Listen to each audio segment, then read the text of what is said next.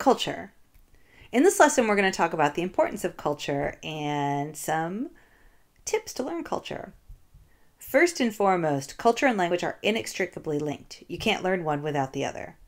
They're tightly bound together, and you're not going to be able to effectively communicate without knowledge and understanding of culture. And it's not just simply understanding how words are used, it's important to understand how things are done in the target language.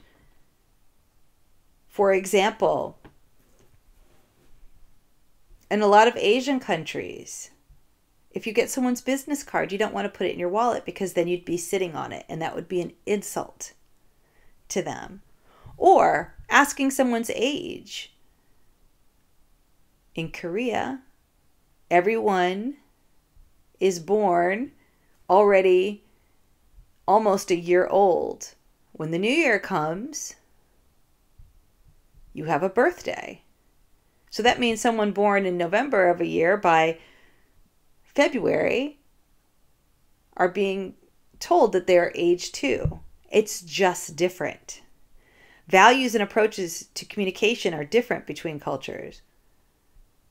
In learning Spanish, a lot of Americans may be uncomfortable with kissing on the cheeks, where your new Spanish friend might be insulted that you wouldn't do that or give them a hug.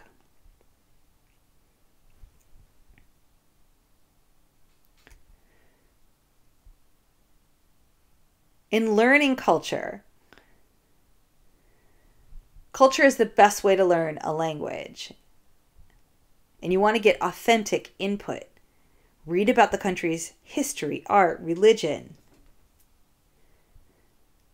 I love going to Google News and changing my settings to help me find out what's going on in their newspapers, where museums around the world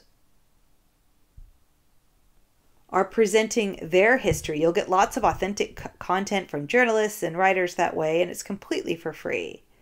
And they'll probably turn you on to books that you can read and magazines. Yabla is another great resource for this.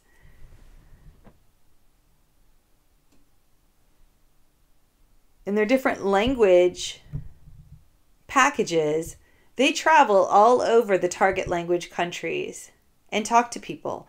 They provide you with movies and television and commercials and news. You're getting right in there with that real culture. Talking to native speakers of the target language country will give you insights to the culture. They'll tell you how things are done there. Again, go on italki they're going to teach you all about the country and it's going to give you so much insight to the culture, what's appropriate and what isn't. They'll tell you what to say, what not to say. And think about the similarities and the difference between two cultures. We're all more alike than different. We're all human. We want to be accepted. We just need to learn a few rules sometimes to, to figure out how to do that. And please don't stereotype or overgeneralize. Just because we're from a country doesn't mean that we're all the same.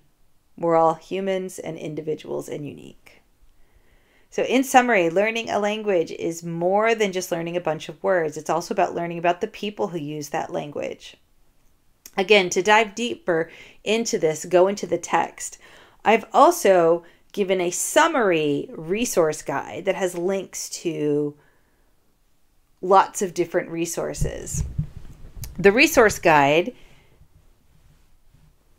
is on the blog, which I'll link to, and they're different by languages. So there'll be lots of links to authentic materials and some of the materials that I'm referencing and they're online so that they can be updated really regularly.